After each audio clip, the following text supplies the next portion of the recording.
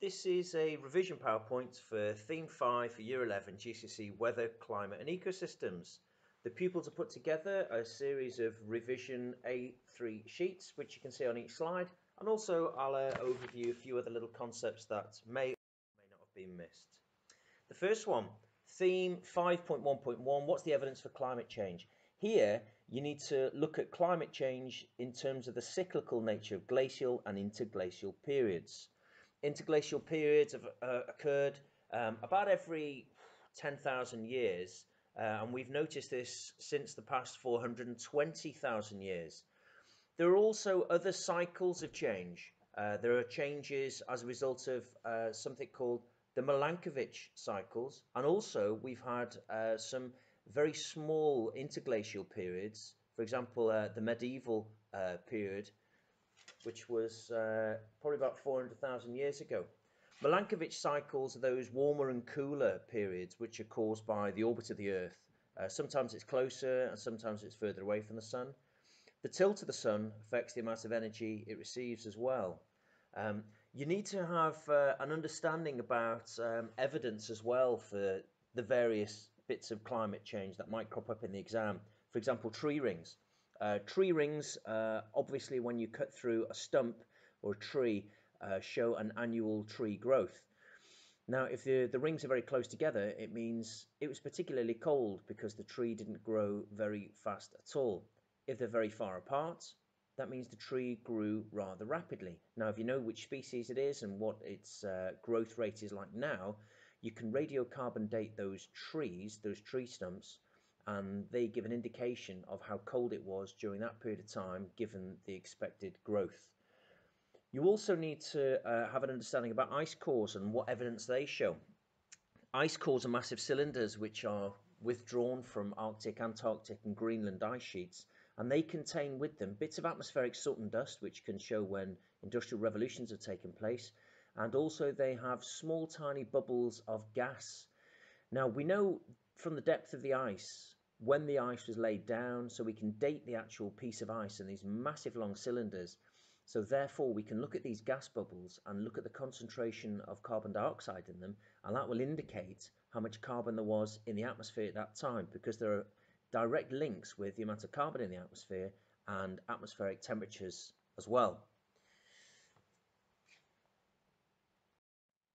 Okay, 5.1.2 are about all the causes of climate change.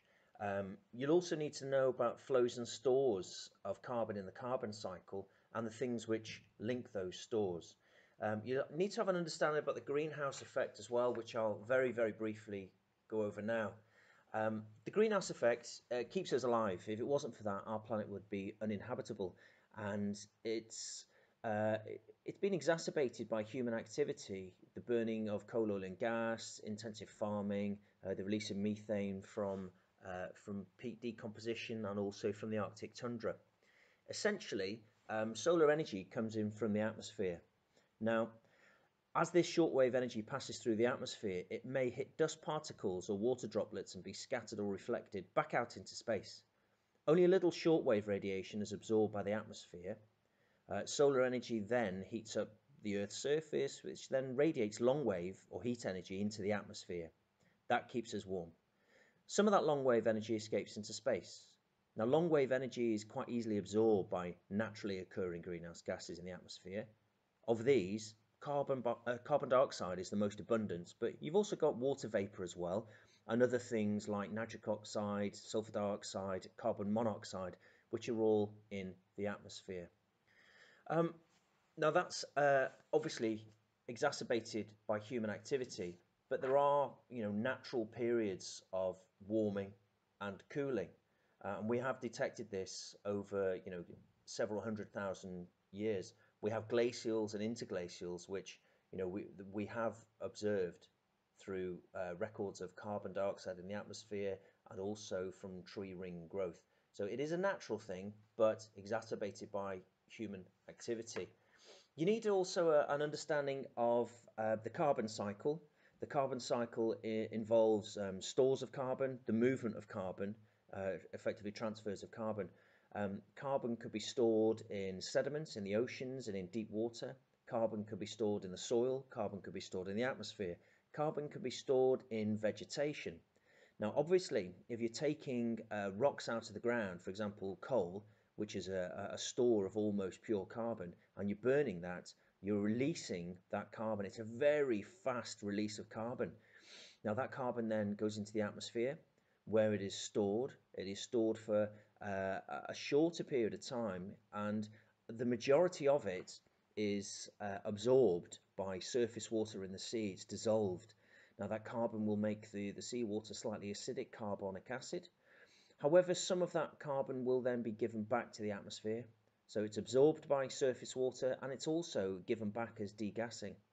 Uh, some of the carbon then in the ocean will then be stored as sediment uh, and this over a period of time uh, will slowly be uh, locked in or sequestered, which is a very, very slow transfer. Um, some of the, the carbon in the atmosphere as well will also fall on, uh, directly onto the ground and be absorbed by the soil. It'll be sequestered by the soil. Now, plants also will be able to release carbon during um, respiration. Uh, respiration occurs generally at night time. It is uh, when carbon dioxide is given out and oxygen is taken in. It's almost like the opposite of photosynthesis, which is the absorption of oxygen, um, is the giving out of oxygen and the creation of oxygen by photosynthesis and the plant then locks in carbon and uses it for uh, its own um, life processes and also the building blocks for the actual plant itself. Um, you can see from the sheets, you know, a variety of different notes as well, but I'll flick forward. I don't want to waffle on for ages about this.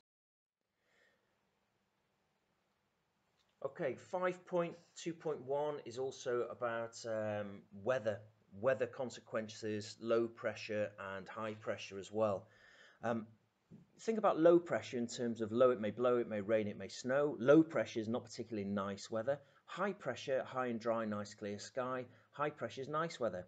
You can get low pressure in the summer and winter. You can get high pressure in the summer and winter, but they're both slightly different. Low pressure is associated with um, rainfall and winds. Uh, low pressure occurs where you've got rising air. Rising air gets cooler. Any moisture in that air will condense and form clouds and rainfall will ensue. In Great Britain, we get a lot of low pressure systems moving off the Atlantic from um, the direction of the Gulf of Mexico, brought along by the uh, North Atlantic Drift. And we get this frontal rainfall hitting Great Britain where you've got a warm front first, and then a period of warm, and then you've got the cold front. Both fronts are associated with rainfall, on a weather map, you've got isobars which are very tight together, and these things uh, move in an anti-clockwise fashion. It almost looks like a shark's fin on a, on a weather map. Uh, low pressure can also be caused where the sun is directly overhead, called the Intertropical Convergence Zone, ITCZ. Uh, this is where the sun, if you like, moves slightly north and slightly south of the equator at different seasons in the year. Of course, the sun doesn't move, it's because of the tilt of the earth as the earth rotates around the sun, giving us our four seasons. The location of this ITCZ changes, let's say every three months. So in winter, in December, when we've got our winter, it's the maximum extent of the journey of the sun in the southern hemisphere, which is when they get their summer. Now, obviously, six months later, at the peak of our summer in June, when we get the maximum overhead sunshine, in the southern hemisphere, let's say Australia, that's when they have their winter. Now, that's six months apart, that means it's on its journey. So that means three months later, it's bang on at the equator. So in our spring and in our autumn, the sun, or the ITCZ rather, is located directly overhead at zero degrees, where low pressure is. Now, wherever you get the ITCZ, you get low pressure. Low pressure brings with it rainfall because the sun shines directly overhead, makes water at the surface of the sea evaporate, and then this evaporating water is forced to rise, it cools, condenses, form clouds, and rainfalls ensue. Now, this will bring with it, um, as it migrates north, the ITCZ, this will bring with it rainfall, and in some areas it's called the monsoon rainfall. Okay, particularly in areas of India where you get monsoon rainfall. Now, sometimes the monsoon rains don't come because of uh, a big area of high pressure which stops uh, the low pressure moving in. These high pressure systems are called blocking highs, and that means um, it will lead to areas of uh, drought. Now, this drought you'll be seeing in your case study notes looking at the Sahel in northern Africa, which is a band of spread of desert-like conditions which covers many of the African countries north of the equator like Chad, Ethiopia, Kenya.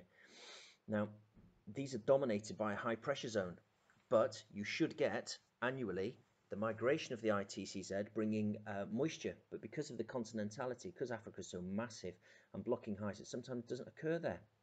Now, in the Sahel, you will get this dominant high pressure, and sometimes monsoon rainfalls aren't coming, so you, you get the spread of desert-like conditions. So no rain, drought, crops fail, uh, the soil becomes eroded, it then is eroded by the wind, it's, uh, it's baked by the sun, so any rain which does fall on it will then not be absorbed into the ground and will go directly into watercourses and, and just drain off the land.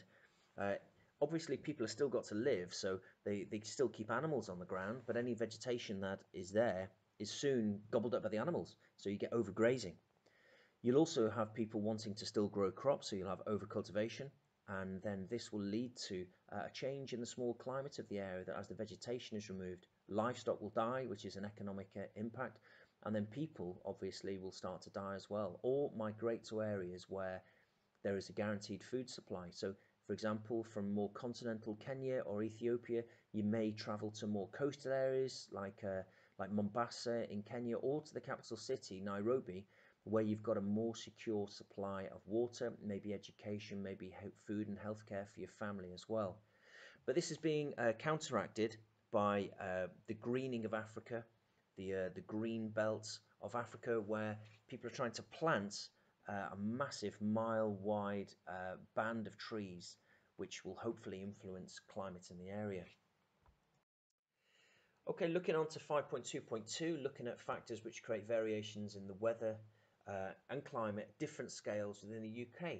Um, weather is the day-to-day -day condition of the atmosphere and the environment outside, rain, sun, hail, sleet, snow, wind, and, and it changes day by day climate is the average of these. So you wouldn't say um, the climate outside today is sunny. You would describe the climate as being what it's like over a long period of time. So you might say the climate of the south of Spain. It's hot and sunny. That's the general climate, but the weather there today might actually be rainy because the climate is an average weather and climate over a long period of time. Um, one of the big impacts on climate is latitude, which is the distance from the equator. Those lines on a globe or on a weather map which are parallel to the equator. Now there are two reasons why it gets colder the further north or south you go away from the equator, and they are, firstly, because the sun's energy has to travel through more atmosphere, and the sun's energy is absorbed by bits of dust, water vapor in the atmosphere, and by the time it reaches the ground, some of that will be in the atmosphere and it won't all be absorbed by the ground. So that's number one. And number two, is because of the angle that the sun hits the ground. Um, discussed the ITCZ said before. In spring and in autumn, the sun is directly overhead at the equator, very little atmosphere to go through, maximum concentration of heat energy. As the ITCZ moves further north, then the sun is more directly overhead, and as a result of that, more solar energy reaches the ground. A little bit like our winters, the sun, or the ITCZ, is in the southern hemisphere. So it's not very directly overhead for us. It's not 90 degrees like it is in spring and autumn at the equator. You know, it's considerably much more oblique than that. So it's got a lot of atmosphere to go through. So latitude has a big influence. That's why Scotland is colder than Kent in the south of England. Um, you also need uh, an understanding about altitude and how that affects climate. Mountainous areas are colder. Anywhere which is lower down is warmer. When it's colder, you get more condensation and more rainfall and more clouds. If you've got more clouds, less sunlight gets through. If it's lower down, it's warmer. The ground doesn't have, uh, the ground absorbs more heat and re-radiates it to the atmosphere around. Also, the air pressure is different. The pressure at the top of a mountain is different to the pressure at the bottom of a mountain. And as a result of that, the ability for the atmosphere to store incoming heat is much, much more compromised. Um, ocean currents also have a, a big effect on temperature in the United Kingdom. The west coast of the United Kingdom is warmer and wetter as a result of the Gulf Stream, sometimes called the North Atlantic Drift. Now, obviously the east coast isn't influenced by this, so it's slightly drier in the east, which is a good thing, but also in the winter, it's colder. The east coast of Great Britain is colder than the west coast of Great Britain. Yes, the west coast does get more cloud and rain, but it's warmer. So this ocean current keeps the west coast warmer and also slightly wetter, which is great for agriculture, but it's not necessarily great for tourism linking into other areas. Uh, in the winter, so it's warmer and wetter. In the summer, because of the clouds, it's slightly cooler and wetter. So, and, that, and the opposite occurs on the east coast. Um, with regards to uh, rainfall in the United Kingdom, most of our rainfall is frontal rainfall, where you get a warm and cold front moving towards an area of cooler land or sea or ocean or air, and it's forced to rise and condensation occurs and you get rainfall. Um, low pressure in the UK in the summer causes uh, rain, cloud, slightly cooler, and in the winter it might fall as snow, particularly over highlands or in the north in Scotland. High pressure in the winter will cause frost, fog, clear skies, very, very cold at night. In the summer, it can cause heat wave, beautiful sunny skies, high and dry, nice clear sky. Remember about that. Um, in terms of maritime and continental climate, then, um, areas which are close to the sea, okay, are classed as maritime.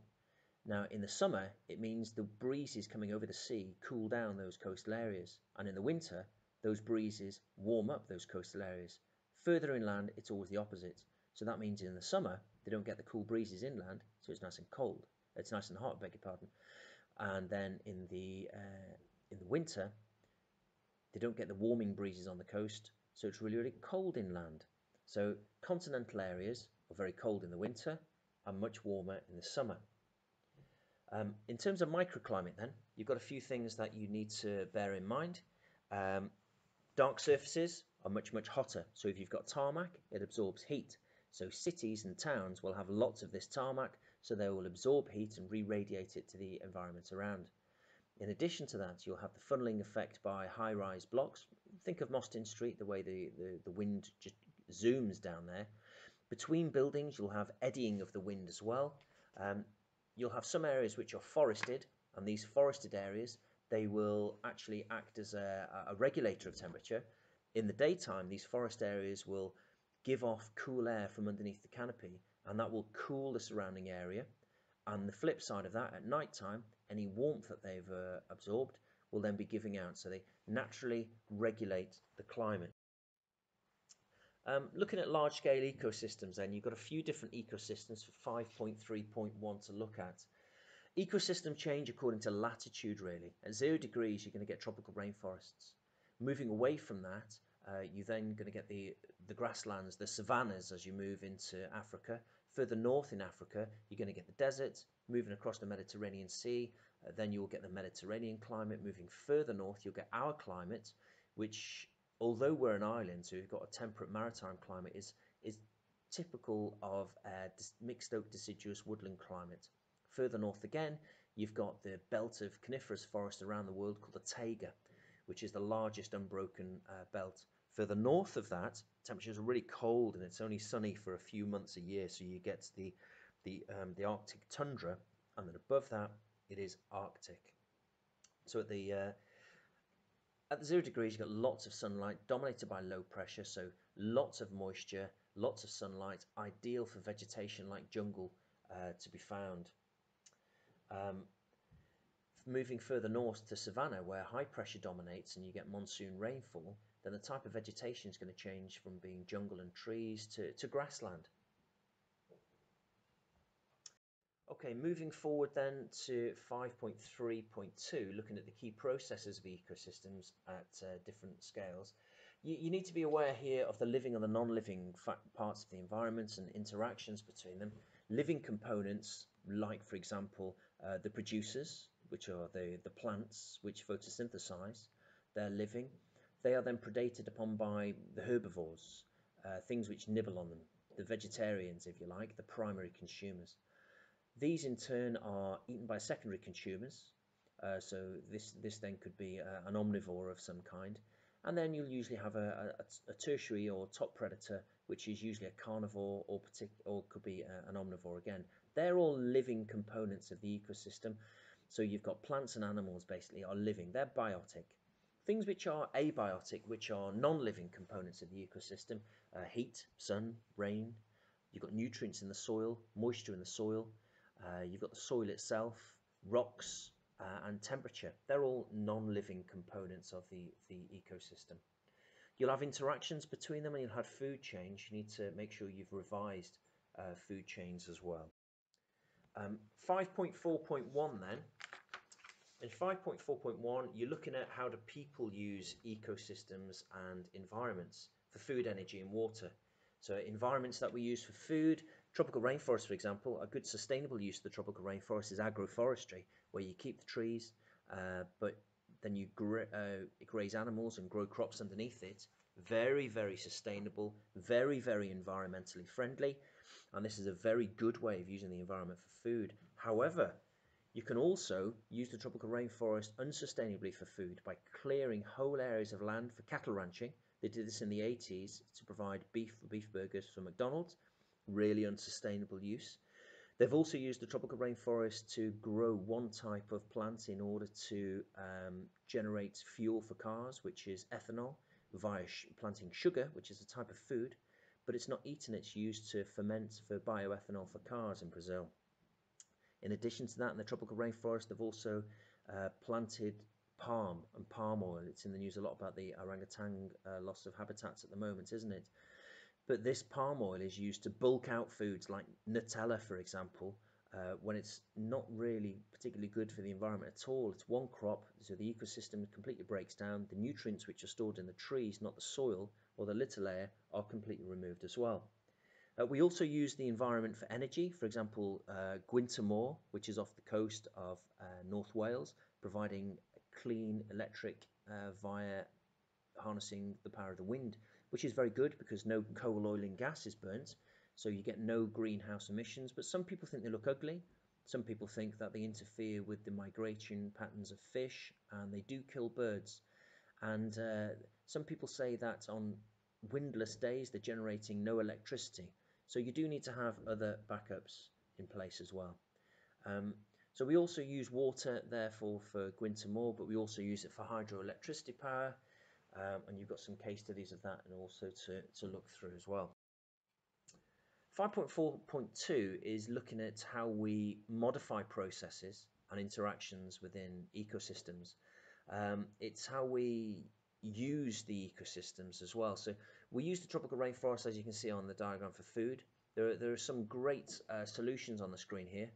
Um, some things like agroforestry, planting crops under the trees, uh, getting the indigenous people involved in using and selling and maintaining and harvesting uh, fruits, nuts, berries in the tropical rainforest as well. Um, obviously, if you remove elements of the tropical rainforest, particularly the timber, the flow of nutrients completely changes and you're taking carbon, uh, which could then be burnt or could then be uh, broken down if it's, if it's burnt and that goes into the environment. Um, 5.4.3, looking at ecosystem management. Um, you need to have uh, a sustainable strategy to manage the habitat and biodiversity in tropical rainforest and one contrasting ecosystem which could be the same one. So for example, I've, I've talked about agroforestry in the tropical rainforest. You could also have national parks in the tropical rainforest as well. Now this can also go for the savannah, looking at national parks, creating areas where no hunting is allowed, no poaching is allowed, and then the savanna is enabled, enabled to um, continue uh, its growth and its succession um, sustainably. One other way of developing savanna land and also tropical rainforest land is the use of ecotourism, where you encourage tourists to visit an area, you control their numbers, you educate them to make sure that they will be looking after the ecosystem and not damaging it, uh, you make sure small numbers of people are invited into the ecosystem, for example, the savannah. You take them on tours and Land Rovers to observe the wildlife, not shooting it, and then it's not trophy hunting. And then the money goes to the local people as they're employed. It goes to help fund education systems. It go goes to fund sanitation and uh, the provision of fresh water and sewerage for local people, and also to help educate local people, help improve literacy standards, and also to help educate them about the importance and the significance of the ecosystem that you're uh, you're trying to protect as well. You can see some other ones about sustainable um, protection of ecosystems on the screen, but I shan't go over all of those.